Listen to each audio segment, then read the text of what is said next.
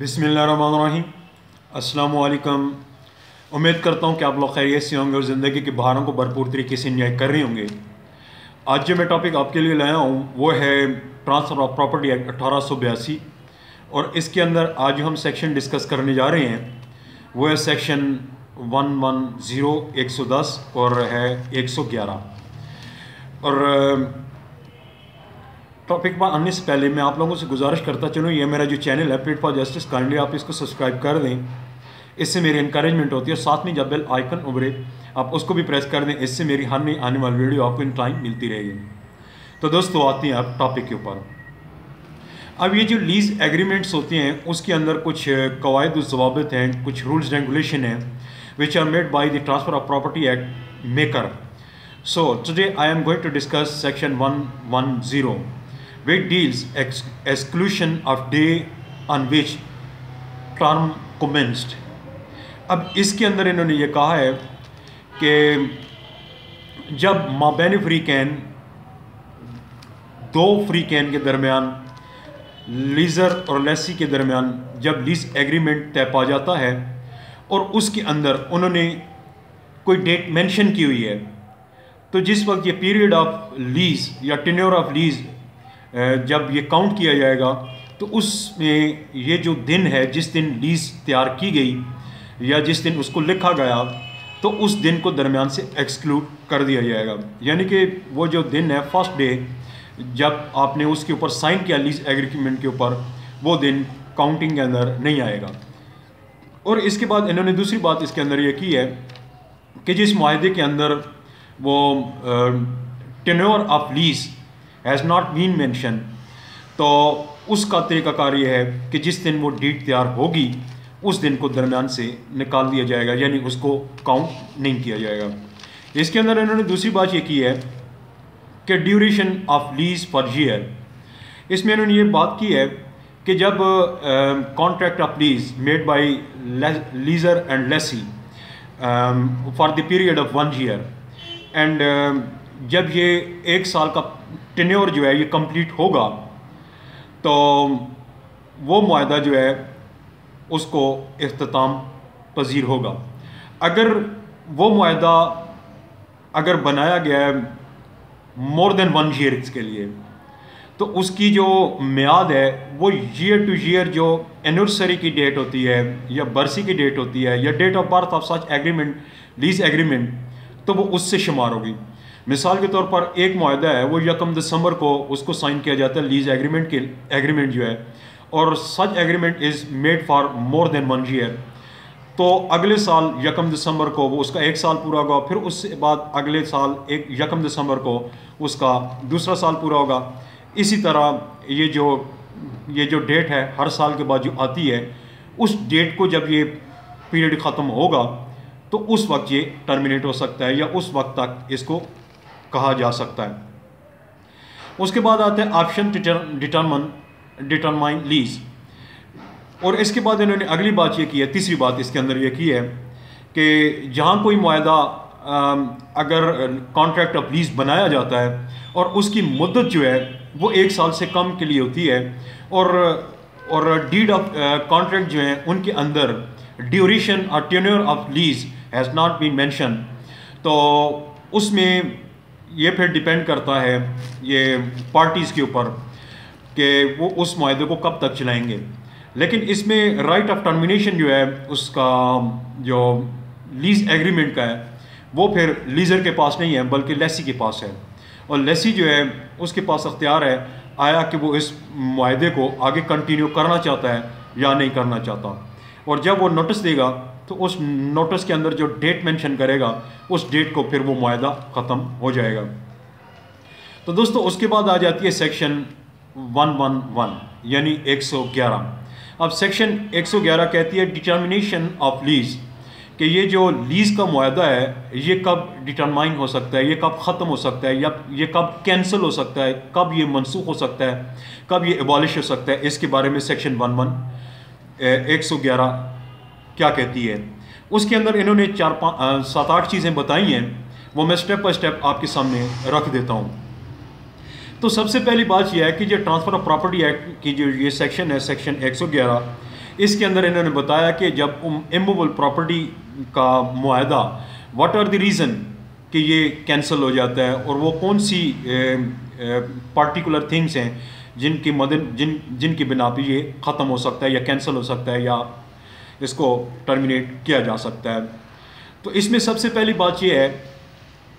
کہ جہاں کسی لیز ایگریمنٹ کے اندر اگر پارٹیز نے آپس میں میوچلی کانسنٹ کے ساتھ، اپنے میوچل کانسنٹ کے ساتھ اس کے اندر tenure of such agreement if they settled تو جس دن وہ ٹینیور پورا ہوگا، اس دن وہ لیز ایگریمنٹ خود بخود ہی ختم ہو جائے گا، بالش ہو جائے گا کینسل ہو جائے گا۔ دوسری بات اس کے اندر انہوں نے یہ کی ہے کہ اگر کسی لیز ایگریمنٹ کے اندر، اگر اس بات کو اس کی ٹرمز اینڈ کنڈیشن کے اندر لیز ڈیٹ کی ٹرمز اینڈ کنڈیشن کے اندر اگر اس بات کو مینشن کر دیا جاتا ہے کہ یہ لیز ایگریمنٹ جو ہے، یہ فلاں وقت کے وقوع پذیر ہونے تک یا فلاں انسیڈنٹ جو ہے، اس کے ٹاپ پلیس ہونے تک یا at the happening of such incident تم اس یہ معاہدہ جو ہے، یہ uh, کنٹینیو رہے گا۔ اور جب وہ um, انسیڈنٹ جو ہے، وہ وقوع پذیر ہو جائے گا اور uh, وہ ہیپن ہو جائے گا، تو یہ معاہدہ ختم ہو جائے گا۔ مثال کے طور پر دو بندے آپس میں اگر کوئی ایگریمنٹ کرتے ہیں لیز ایگریمنٹ اور اس میں لیزر جو ہے، وہ لیسی کو کہتا ہے کہ جب تک uh, فلاں بندہ جو ہے، وہ زندہ ہے تو تم اس زمین کو کر سکتے ہو، استعمال کر سکتے ہو لیز کے اوپر،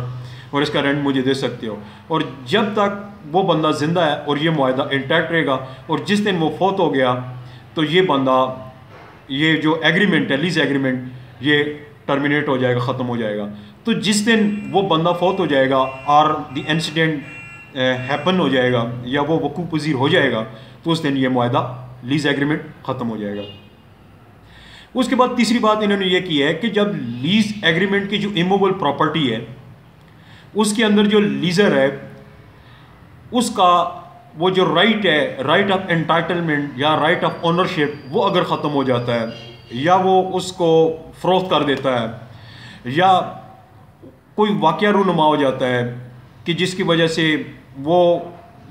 واقعہ جو ہے، اگر وہ مینشن کیا گیا اس معاہدے کے اندر، اگر یہ کام ہو گیا تو یہ معاہدہ فسخ ہو جائے گا۔ تو اس میں اس ایسی صورت کے اندر جب یہ لیزر جو ہے اپنے پراپرٹی کو ٹرانسفر کر دیتا ہے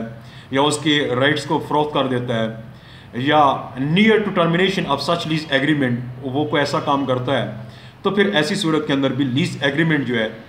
وہ ختم ہو سکتا ہے، وہ ٹرمینیٹ ہو سکتا ہے، وہ ابالش ہو سکتا ہے۔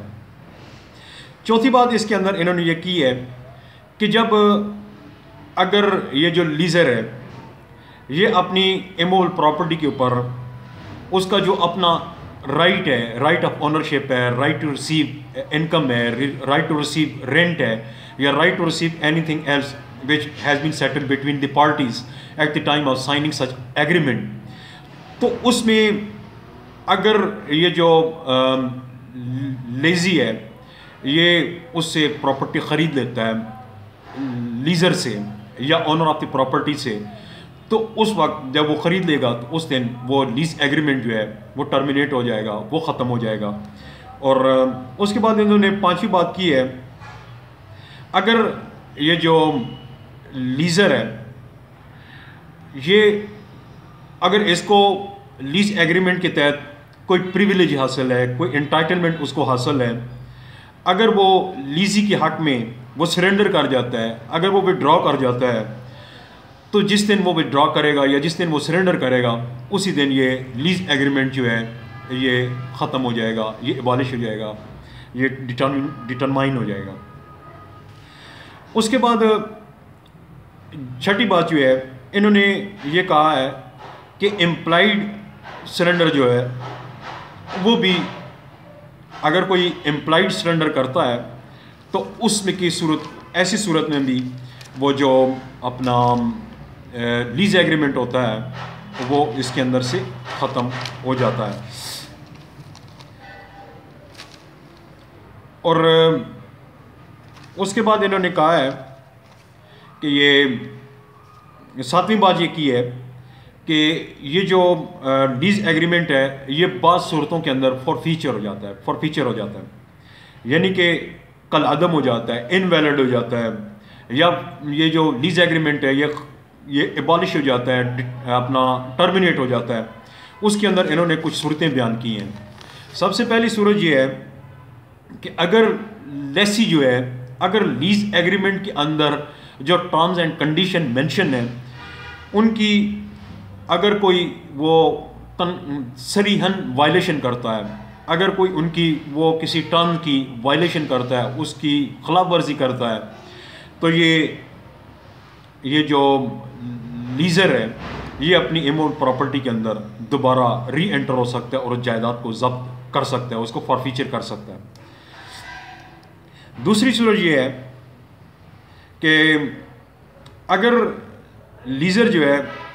اپنی یہ جو اس کا رائٹ آف اونرشپ ہے، اس پراپرٹی کے اندر ایموول پراپرٹی کے اندر، اگر وہ اس کو بیچ دیتا ہے، یا کسی کے مطالبے کے اوپر on the demand of third person if he deliver such his right to other person to transferee or sell his property transferee تو جس دن یہ یہ اپنا، یہ واقعہ ہو جائے گا، اس دن یہ لیز جو ہے، یہ ڈٹرمن تصور ہوگی۔ اور اس کے علاوہ، اگر لیسی جو ہے، لیسی جو ہے، اگر وہ جو ایمول پراپرٹی ہے، اس کے اندر کوئی ایسا کام کرتا ہے یا اس پراپرٹی کو کسی دوسرے بندے کے حوالے کر دیتا ہے جس کا لیزر نے اس کو روکا ہوا ہے کہ آپ نے اس کو مزید سب لیز یا اس کو آپ، اس کے اندر کوئی رائٹ جو ہے، مزید ٹرانسفر نہیں کر سکتے۔ اور وہ شخص وہ دستبردار ہو جاتا ہے، اس کے اندر وہ لیزی جو ہے وہ سرنڈر کر دیتا ہے۔ تو پھر ایسے صورت کے اندر یہ جو لیزر ہے وہ اپنی پراپرٹی کے اندر دوبارہ انٹر ہو سکتا ہے۔ تیسری بات انہوں نے یہ کی ہے کہ جب دو لوگوں کے درمیان لیزر اور لیسی کے درمیان یہ لیز ایگریمنٹ جو ہے یہ سائن ہو جاتا ہے۔ اور اس میں یہ جو لیسی ہے یہ بعد میں انسالمنٹ ڈکلیئر کر دیا جاتا ہے یا انسالمنٹ ہو جاتا ہے یا اس کے پاس لیز ایگریمنٹ کے جو پیسے ہیں یا انکم ہے یا جو بنتی ہے انکم اس کو دینے کے لیے پیسے نہیں ہیں۔ وہ انسالمنٹ ہو گیا، وہ دیوالیہ ہو گیا۔ تو یہ جو لیزر ہے آنر آف دی پراپرٹی جو ہے، یہ جو یہ جو پراپرٹی جو اس نے لیزر کو لیزی لیسی کو دے رکھی ہے، وہ دوبارہ اس کے اندر انٹر ہو سکتا ہے۔ اس کے بعد انہوں نے آٹھویں بات یہ کی ہے کہ لیز کے یہ جو، یہ لیز کانٹریکٹ آف لیز ہے اس کے اندر اگر یہ بات مینشن کی گئی ہے، اس کے ٹرمز اینڈ کنڈیشن کے اندر کہ جب بھی یہ جو بھی بندہ لیز ایگریمنٹ سے یہ دستبردار ہونا چاہے گا وڈرا کرنا چاہے گا یا سلنڈر کرنا چاہے گا یا اس کو ٹرمینیٹ کرنا چاہے گا، تو ایسی صورت کے اندر جو پارٹیز آف دی کانٹریکٹ ہیں، وہ ایک دوسرے کو نوٹس سرو کریں گے اور اس کے اندر وہ لکھیں گے، اپنی انٹینشن کا اظہار کریں گے۔ کہ ہم اس لیز ایگریمنٹ سے سرنڈر کرتا ہوں یا اس کو ٹرمینیٹ کرنے کا نوٹس دیتا ہوں اور اس کے اندر جب وہ ٹرمینیٹ کرنے کا نوٹس جو ہے دوسرے فریق کو دیتا ہے، تو ایسی صورت کے اندر جس یہ جو لیسی جو ہے، اس کے لیے ضروری ہے کہ اگر وہ ٹرمینیٹ کرتا ہے، اگر ٹرمینیشن کا نوٹس جو ہے وہ لیزر کو دیتا ہے، تو اس کے لیے ضروری ہے نوٹس دے اور نوٹس دینے کے بعد جب اس نوٹس کے اوپر جو ڈیٹ مینشن ہے، اس کے مطابق پھر اس زمین جو ہے، اس بندے، اس کا پوزیشن جو ہے، وہ لیزر کے حوالے کرے۔ اور یہ جو لیزر ہے، اگر یہ، اگر کانٹریکٹ آف لیز کو ٹرمینیٹ کرنا چاہتا ہے، تو پھر اس کے لیے ضروری ہے کہ جب وہ نوٹس دے گا اور نوٹس کے اندر جو اس نے وہ ڈیٹ مینشن کی ہوئی ہے، اس ڈیٹ کے اوپر اس کو پھر وہ اس کی پراپرٹی کے اندر ری انٹر ہو سکتا ہے۔ اور اس میں انہوں نے یہ کہا ہے کہ اگر نوٹس دینے کے بعد ایک بندہ نوٹس دیتا ہے اور اس کے بعد وہ نوٹس کی پیر یعنی کہ وہ نوٹس ایکسپائر ہو جاتا ہے۔ نوٹس کے اندر جو انہوں نے ٹائم دیا کہ تھرٹی ڈین کا یا سکسٹی ڈیز کا جو ٹائم دیا گیا ہے یا چھ مہینے کا ٹائم دیا گیا یا جو بھی ٹائم انہوں نے مینشن کیا ہے، اس کے اندر پندرہ دن کا یا چھ مہینے کا، تو اس وہ ٹائم گزر جاتا ہے ایکسپائر ہو جاتا ہے اور ایک دوسری طرف سے کوئی آگے مزید فردر جو اس کے اوپر جو پروسیڈنگ ہے وہ نہیں ہوتی۔ یا وہ جو ہے، وہ نوٹس ایکسپائر ہو جاتا ہے اور اس کے اوپر مزید عمل درآمد نہیں ہوتا۔ تو پھر پارٹیز کے اوپر ڈیپینڈ کرتا ہے، آیا اس کو وہ کنٹینیو رکھنا چاہتے ہیں یا اس کو اس کو ابالش کرنا چاہتے ہیں، اس کو ٹرمینیٹ یا ختم کرنا چاہتے ہیں۔ تو یہ ان کے اوپر ڈیپینڈ کرتا ہے، پھر اس کو یہ ختم بھی کر سکتے ہیں۔ اگر ختم کریں گے تو پھر وہ ایک دوسرے کے حساب جو ہیں وہ چکتا کریں گے اور پراپر پوزیشن آف امول پراپرٹی وہ لیسی جو ہے وہ لیزر کے حوالے کرے گا۔ تو اس میں آج انہوں نے یہ جو آج ہم نے دو سیکشن ڈسکس کی ہیں، اس کے اندر ایک ہے ون ون زیرو ایک سو دس، اور اس کے اندر exclusion of day on which term commence کہ یہ لیز ایگریمنٹ کی جو ٹرم کومنس ہوتی ہے، اس کو جب یہ لیز ایگریمنٹ کا جو معاہدہ ہے، اس کے ڈیز کو شمار کیا جائے گا، اس کو کاؤنٹ کیا جائے گا۔ تو اس میں سے یہ جو ڈے فسٹ ڈے جب آپ نے معاہدے کو سائن کیا، تو اس دن کو نکال دیا جائے گا۔ اور دوسری جو سیکشن آج ہم نے اسٹڈی کی، وہ ہے سیکشن ایک سو گیارہ۔ اور اس کے اندر ڈٹرمنیشن آف لیز ہے یعنی کہ لیز کے جو ایگریمنٹ ہے، وہ ایموبل پراپرٹی کا۔ وہ کن صورتوں کے اندر وہ ابالش ہو جاتا ہے، وہ ڈٹرمائن ہو جاتا ہے، وہ ٹرمینیٹ ہو جاتا ہے یا ختم ہو جاتا ہے۔ وہ، اور وہ ساری چیزیں آج ہم نے آپ کے سامنے رکھی ہیں۔ تو دوستو، میرا، میں سمجھتا ہوں میرا آج کا ٹاپک آپ کو کلیئر ہو گیا ہوگا اور آپ کو سمجھ بھی آ گئی ہوگی۔ اگر آپ کو کلیئر ہو گیا ہے، آپ کو سمجھ آ گئی ہے، تو آپ کائنڈلی یہ اس چینل کو سبسکرائب کریں، اس کو لائک کریں، اس کو شیئر کریں۔ اور اگر آپ کو کوئی کویشچن ہے، کوئی کوئری ہے مجھے کمنٹس بھی کر سکتے ہیں۔ اور مجھے نئی ویڈیو کے آنے تک میں آپ لوگوں سے اجازت چاہوں گا۔ اجازت دیجیے اللہ حافظ اینڈ وش گڈ لک